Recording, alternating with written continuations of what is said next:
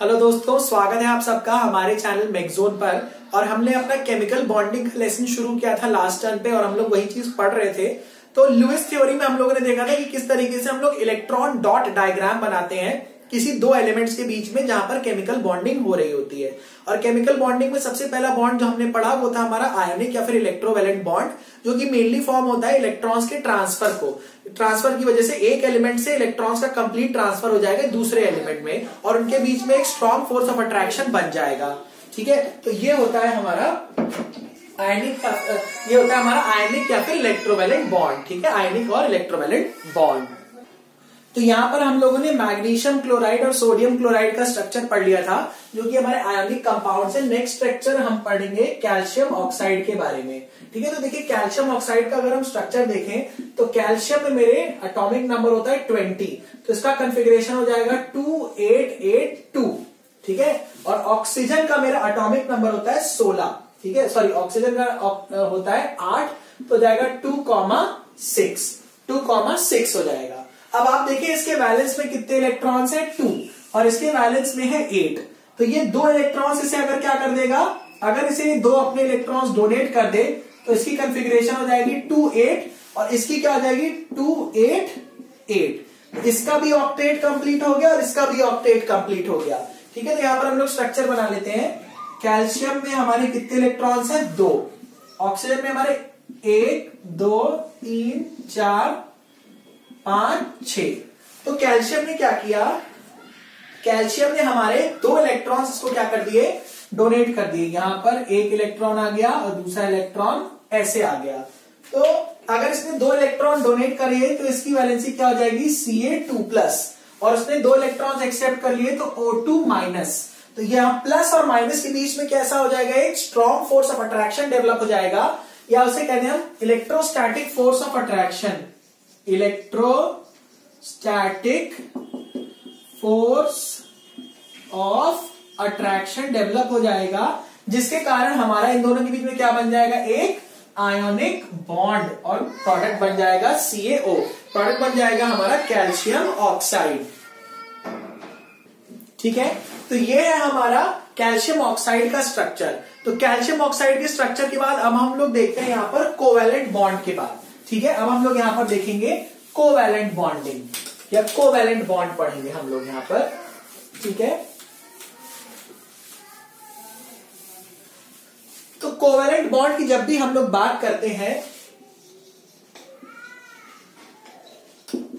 Covalent bond की जब भी हम लोग बात करते हैं तो वो मेनली फॉर्म होता है by the sharing of electrons दो एलिमेंट्स के बीच में अगर म्यूचुअल शेयरिंग हो रही है इलेक्ट्रॉन्स की, उसकी वजह से जो हमारा बॉन्ड बन रहा है, उसको कहते हैं हम लोग covalent bond this is formed by the formed by the sharing of electrons formed by the sharing of electrons तो शेयरिंग ऑफ़ इलेक्ट्रॉन्स की वजह से अगर हमारा जो बॉन्ड बन रहा है, उसको हम लोग बोल देते हैं कोवेलेंट बॉन्ड अब कोवेलेंट बॉन्ड जो है हमारा तीन पार्ट्स में क्लासिफाई किया जा सकता है. डिपेंडिंग अपॉन कितने इलेक्ट्रॉन्स की शेयरिंग हो रही है. अगर एक इलेक्ट्रॉन की शेयरिंग होती है तो उसको हम लोग बोल देते हैं सिंगल कोवेलेंट बॉन्ड क्या बोल देते हैं?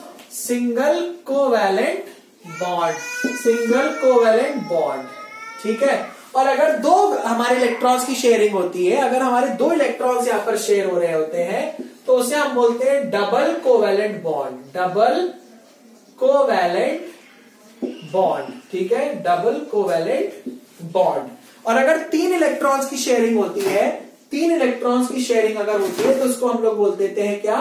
Triple covalent bond triple covalent bond ठीक है?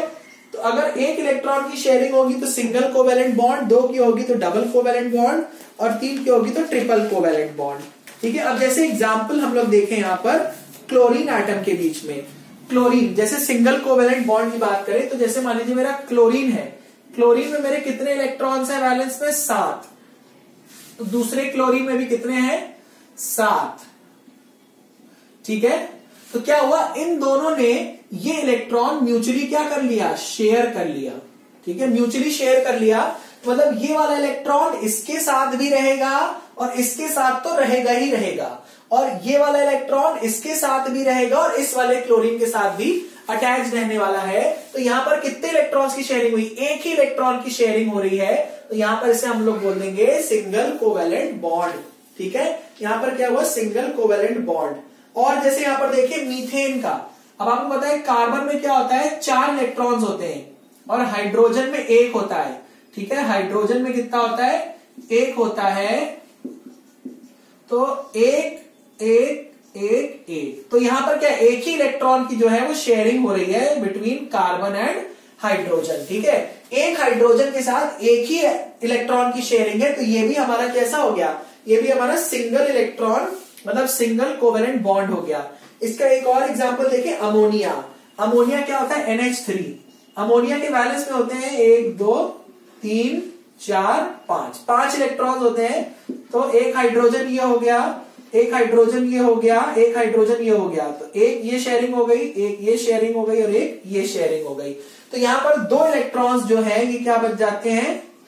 अनशेयर्ड इलेक्ट्रॉन्स बच जाते हैं। अनशेयर्ड इलेक्ट्रॉन्स बच जाते हैं यहाँ पर अमोनिया के केस में। तो ये तो था हमारा examples of single covalent bond अब अगर हम देखें डबल कोवेलेंट बॉन्ड के एग्जाम्पल्स तो डबल कोवेलेंट बॉन्ड के एग्जाम्पल्स अगर हम देखें तो कौन कौन से हो जाएँगे? जैसे मेरा हो गया इथीन इथीन हो गया। E T H N ethene C two H two ठीक है? C two H four sorry C two H four तो कार्बन डबल बॉन्ड कार्बन ये कैसे बना? देखिए, कार्बन में आपको पता है, एक, दो, तीन, चार। एक, दो, तीन, चार। ठीक है?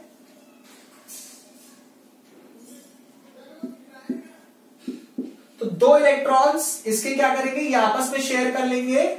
एक हाइड्रोजन के साथ, एक हाइड्रोजन यहाँ, एक हाइड्रोजन यहाँ, और एक हाइड्रोजन यहाँ पर। ठीक है? तो टोटल चार हाइड्रोजन हो गई और आपस में यहाँ पर क्या हुआ?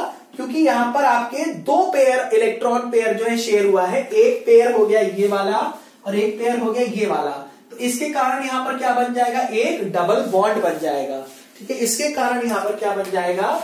इसके कारण हमारा यहाँ पर बनने वाला है एक डबल बॉन्ड ठीक है, बन जाएगा हमारा एक डबल बॉन्ड और स्ट्रक्चर कैसे लिखेंगे?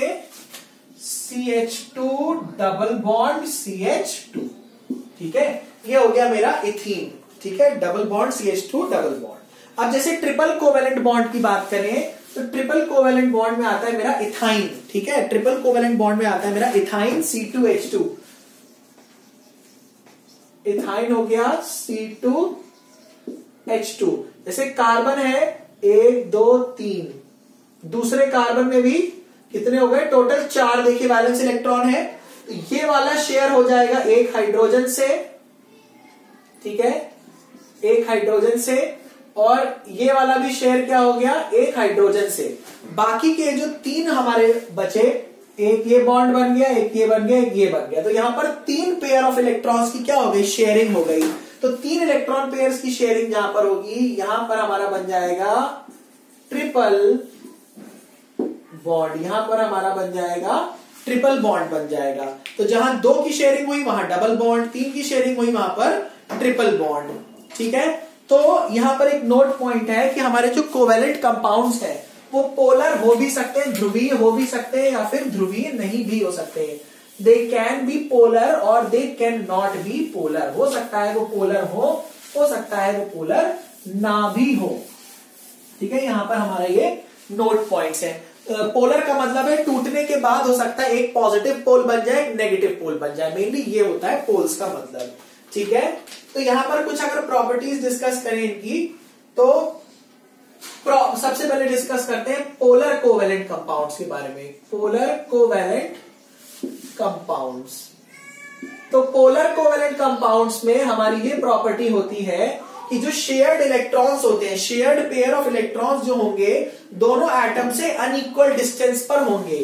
तो सबसे पहला पॉइंट ए क्या है? Shared pair of electrons shared pair of electrons are at unequal distance are at unequal distance from both atoms ठीक है? दोनों ही एटम से वो अलग अलग दूरी पर होंगे, तभी तो क्या होगा?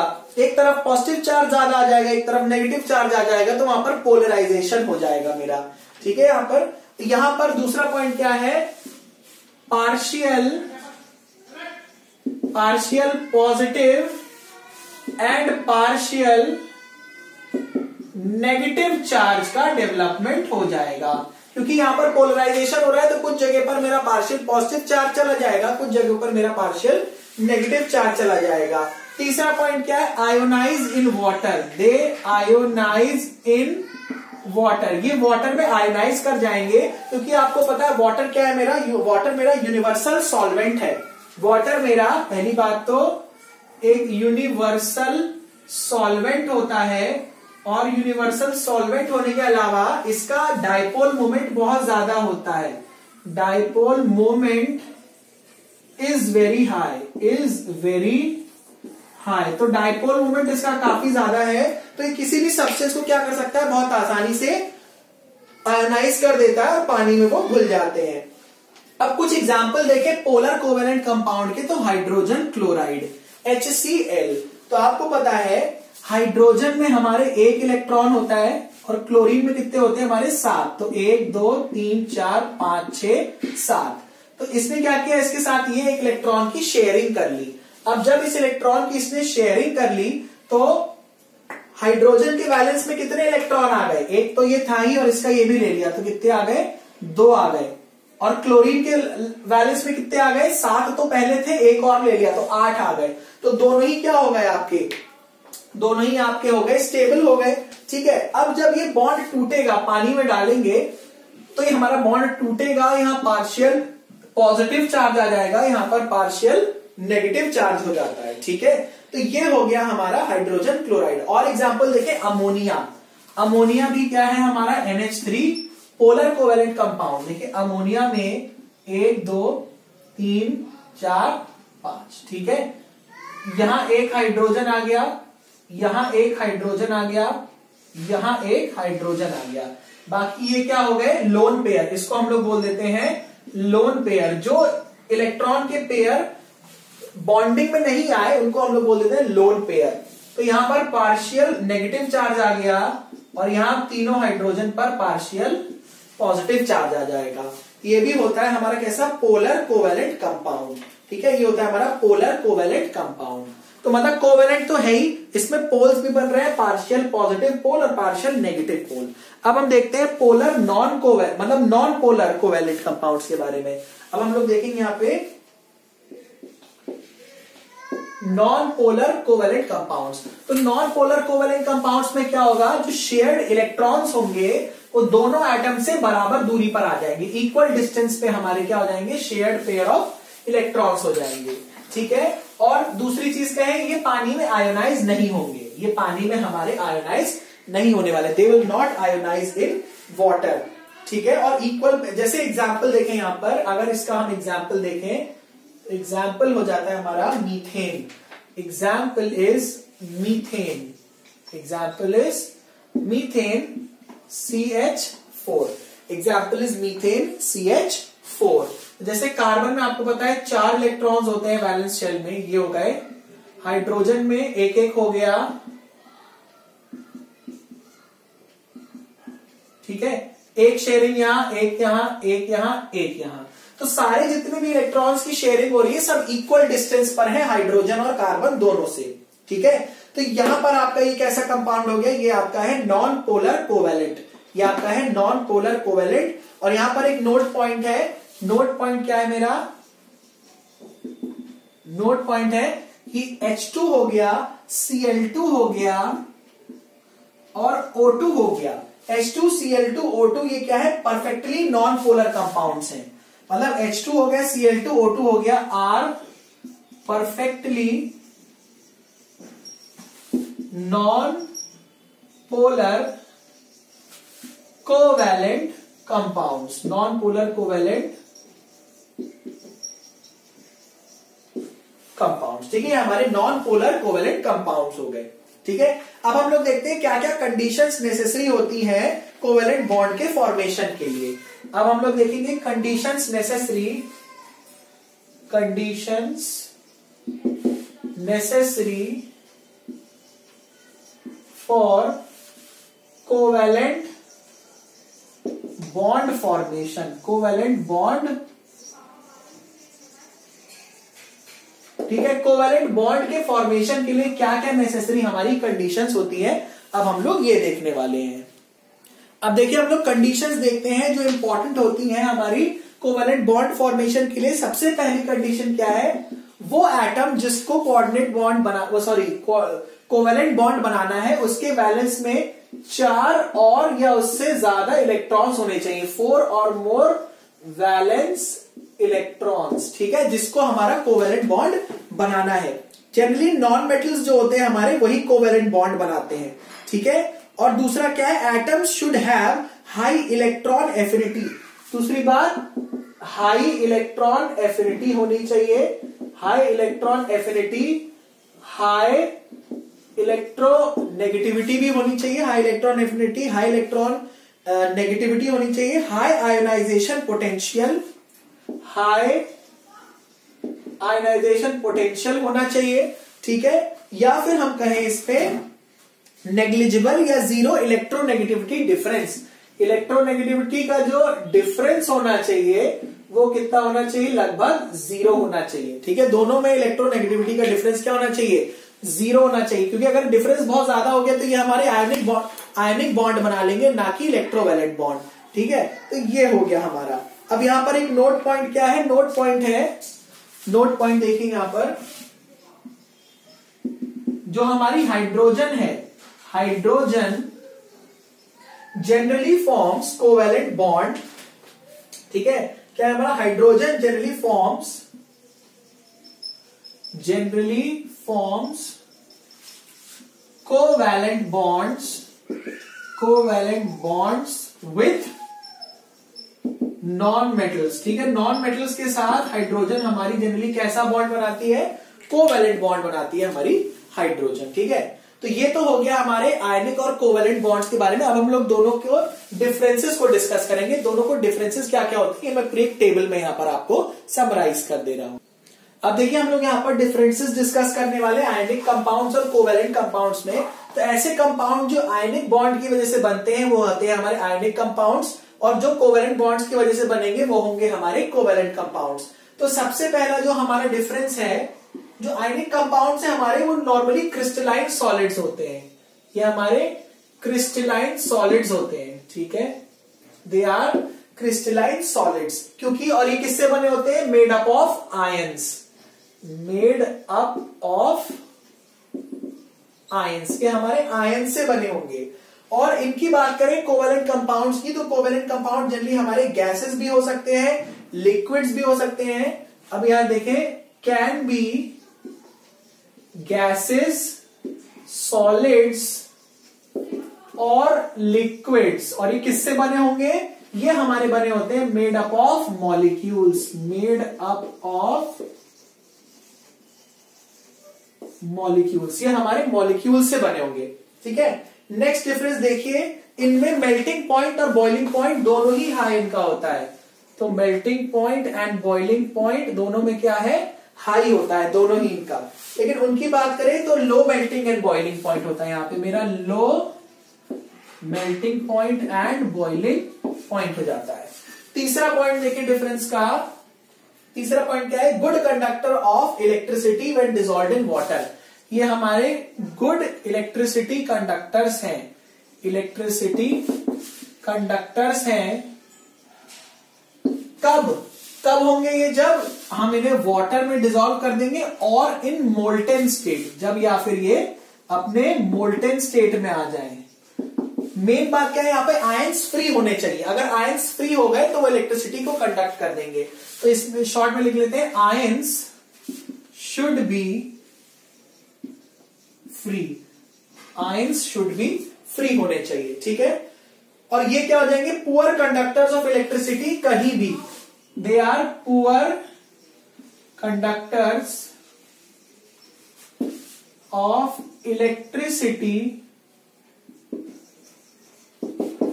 in all phases in all phases सभी फ़ेज़ में, चाहे वो सॉल्यूशन फ़ेज़ में हो, चाहे वो मॉल्टन फ़ेज़ में हो, ये सभी क्या होंगे? पुअर कंडक्टर्स होंगे इलेक्ट्रिसिटी वाले, ठीक है?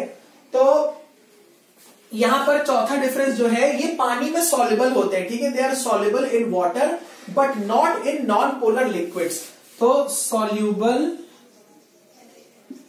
in water but not in non polar solvents non polar solvents जैसे हो गए मेरा मीथेन या बेंजीन सोल्यूशन हो गया।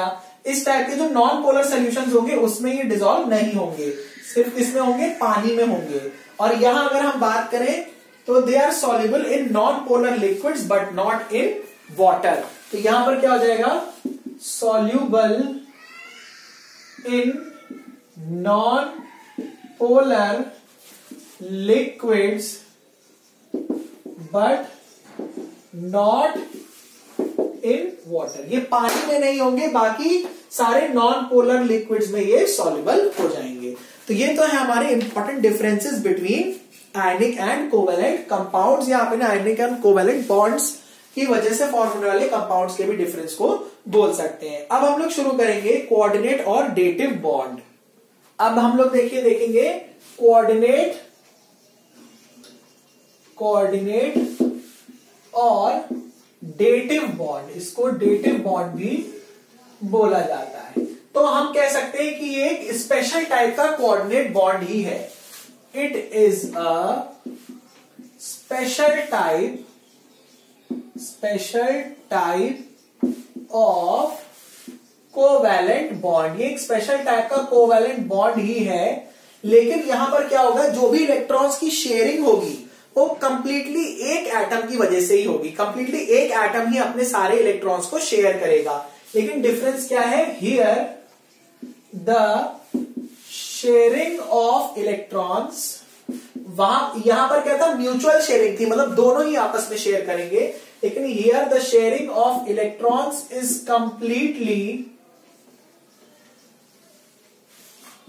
by one of the combining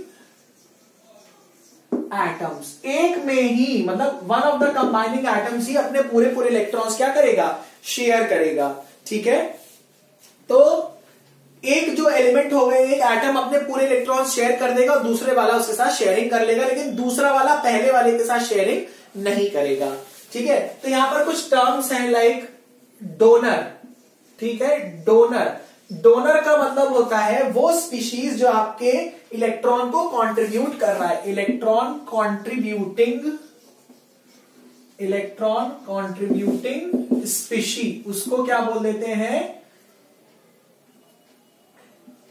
donor, ठीक है? फिर एक होता है मेरा एक्सेप्टर एक होता है मेरा एक्सेप्टर और ये क्या होता है? इलेक्ट्रॉन नॉर्मली इसको क्या कहता है? एक्सेप्ट इलेक्ट्रॉन एक्सेप्टिंग स्पीशी ठीक है? ये इलेक्ट्रॉन को एक्सेप्ट करने वाला स्पीशी होता है।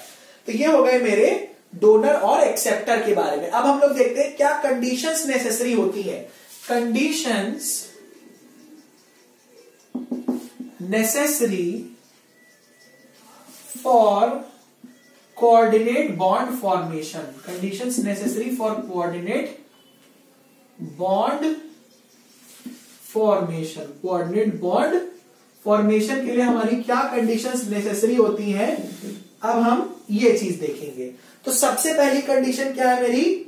सबसे पहली लोन पेयर ऑफ़ इलेक्ट्रॉन्स होना चाहिए।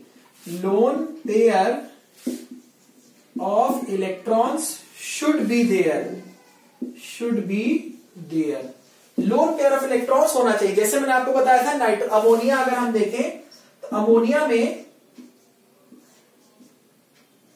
नाइट्रोजन ने तीन हाइड्रोजन के साथ कंबाइन तो कर लिया, लेकिन इसके दो ऐसे इलेक्ट्रॉन्स रह गए जो कि कंबाइनिंग स्टेट में नहीं आए। दो ऐसे इलेक्ट्रॉन्स थे जिन्होंने कंबाइन नहीं किया।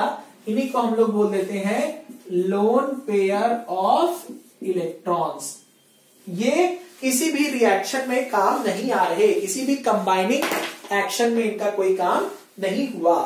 ठीक है? दूसरा डुप्लेट और ऑक्टेट मतलब जो कंबाइनिंग एटम है, उसका डुप्लेट या ऑक्टेट अचीव नहीं होना चाहिए। Duplet oblique octet should not be achieved should not be achieved by the combining atom तो कंबाइनिंग एटम है, उसका डुप्लेट या ऑक्टेट अचीव नहीं होना चाहिए कंप्लीट नहीं होना चाहिए। ठीक है? तो एग्जाम्पल्स ऑफ़ कोऑर्डिनेट बॉन्ड सबसे पहले देखते हैं हम अमोनियम आयन में। ठीक है? एग्जाम्पल्स ऑफ़ कोऑर्डिनेट बॉन्ड देखेंगे हम यहाँ पर।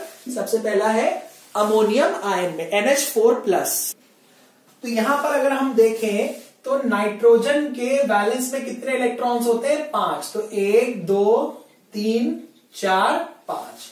तो तीन तो हाइड्रोजन के साथ पहले ही यहाँ पर शेयर हो चुके हैं, ठीक है? तीन हाइड्रोजन के पास पहले से ही यहाँ पर शेयर हो चुके हैं। कितने इलेक्ट्रॉन्स बाकी बच गए? दो इलेक्ट्रॉन बच गए। इसी को हम क्या कहते हैं? लोन पेयर अब होगा क्या कि आपका जो ये दो इलेक्ट्रॉन्स हमारे जो खाली बच गए ठीक है? तो हमारे पास एक होता है hydronium ion, H plus ion. H plus ion में कोई भी इलेक्ट्रॉन नहीं होता। No electrons in outer orbit no electrons in outer orbit ठीक है? तो ये क्या करेगा? इसको कितने इलेक्ट्रॉन्स चाहिए अपना डुप्लेट कंप्लीट करने के लिए? दो। तो ये हो जाएगा मेरा डोनर एटम ठीक है? ये क्या हो जाएगा? मैं रेड से लिख दे रहा हूँ। ये हो जाएगा मेरा डोनर एटम मतलब नाइट्रोजन क्या करेगा? डोनेट कर देगा, ये बन जाएगा मेरा डोनर एटम, और ये दोनों के दोनों किसको डोनेट कर देगा? H प्लस को। तो देखिए एरो बनाई जाती है। अगर मैं बना रहा हूँ ए से लेकर ऐसे बी तक एरो तो मतलब ए मेरा डोनर एटम हो गया बी मेरा एक्सेप्टर एटम हो गया। ठीक है, यहाँ पर ये पॉइंट इंपॉर्टेंट है। ये मेरा डोनर एटम हो गया, ये मेरा एक्सेप्टर एटम हो गया। This becomes the acceptor atom ठीक है? तो यहाँ पर मेरा डोनर आइटम है नाइट्रोजन और एक्सेप्टर आइटम है H प्लस तो इन दोनों के बीच में क्या बन जाएगा? कोऑर्डिनेट बॉन्ड और फाइनली स्ट्रक्चर कैसा मिलेगा हमें? स्ट्रक्चर मिलेगा एन एक हाइड्रोजन ऐसा, एक हाइड्रोजन ऐसा, एक हाइड्रोजन ऐसा और एक बना देंगे ऐसा. और पूरे पर क्या चार्ज आ गया? NH4 प्लस ठीक है? तो ये हो गया मेरा structure of ammonium hydroxide sorry ammonium ion, ये हो गया मेरा स्ट्रक्चर ऑफ़ अमोनियम आयन, ठीक है? तो ये यहाँ पर हम देख रहे हैं कि कोऑर्डिनेट बॉन्ड आपका फॉर्म हो रहा है बिटवीन नाइट्रोजन और हाइड्रोजन के बीच में। तो नाइट्रोजन आपका डोनर एटम हो गया हाइड्रोजन आपका एक्सेप्टर एटम हो गया। नाइट्रोजन ने अपने लोन पेयर्स किसको डोनेट कर दिया हाइड्रोजन को, और हाइड्रोजन ने वो क्या कर लिए? एक्सेप्ट कर लिए। तो जो कंप्लीटली जो डोनेशन है वो नाइट्रोजन की तरफ़ से। हाइड्रोजन अपने कोई भी इलेक्ट्रॉन्स की शेयरिंग नहीं कर रहा। लेकिन नाइट्रोजन ने कंप्लीटली क्या कर दिया? शेयर कर दिया अपने इलेक्ट्रॉन्स किसके साथ? हाइड्रोनियम आयन के साथ, H प्लस के साथ, ठीक है? तो ये हो गया हमारा क्या चीज़ यहाँ पर? ये एक तरीके का हमारा है कोऑर्डिनेट बॉन्ड जहाँ पर हमें देखने को मिला कि कंपाउंड्स में कोऑर्डिनेट बॉन्ड कैसे फॉर्म हो रहा है। अब हम लोग कुछ यहाँ पर एग्जांपल्स और देखते हैं। तो देखिए, यहाँ से तो इतने पार्ट पर हमारा केमिकल बॉन्डिंग तो फिनिश हो गया, लेकिन हमारे को कुछ और भी चीज़ें यहाँ पर पढ़नी है। कुछ शेप्स हैं मॉलिक्यूल्स की कुछ शेप्स हैं जो हमारे सीएमएस सिलेबस में है। सीबीटी वन मतलब इंजीनियर्स वालों के लिए, उनके लिए नहीं दिया गया। लेकिन क्योंकि पूछा जा सकता है तो हम लोग उसको भी यहाँ पर डिस्कस कर लेते हैं। तो अब हम लोग कुछ देखेंगे शेप्स ऑफ़ सम मॉलिक्यूल्स ठीक है? शेप्स ऑफ़ सम मॉलिक्यूल्स कुछ मॉलिक्यूल्स की शेप्स देखेंगे। सबसे पहले देखते हैं कार्बन डाइऑक्साइड की। तो कार्बन डाइऑक्साइड कैसा होता है? ये होता है आपके कार्बन डाइऑक्साइड का स्ट्रक्चर ठीक है? तो एक, दो, तीन, चार, और कितना हो गया? एक, दो, तीन, चार ही हो गया, चार इसके साथ शेयर हो गया, ठीक है? तो इसकी शेप कैसी हो जाएगी? ये हमारा लीनियर मॉलिक्यूल है। ये हो गया हमारा linear molecule this is the linear molecule अब देखते हैं हमारा ठीक है, अब हम लोग नेक्स्ट देखेंगे यहाँ पर मीथेन मॉलिक्यूल के बारे में, ठीक है? ये तो हमारा पहला हो गया, दूसरा हो गया मीथेन सी एच फोर तो अगर हम देखें, ठीक है, जो हमारे सी एच फोर का स्ट्रक्चर है, वो हमारा टेट्राहेड्रल स्ट्रक्चर है। कैसा है? टेट्राहिड्रल स्ट्रक्चर है और हर के बीच में एंगल अगर यहाँ देखें हाइड्रोजन के बीच में एंगल ये जो एंगल है हमारा, ये एक्चुअली थ्री में हम बनाएँगे। थ्री में मैं आपको बना दे रहा हूँ। ये हमारा कार्बन हो गया।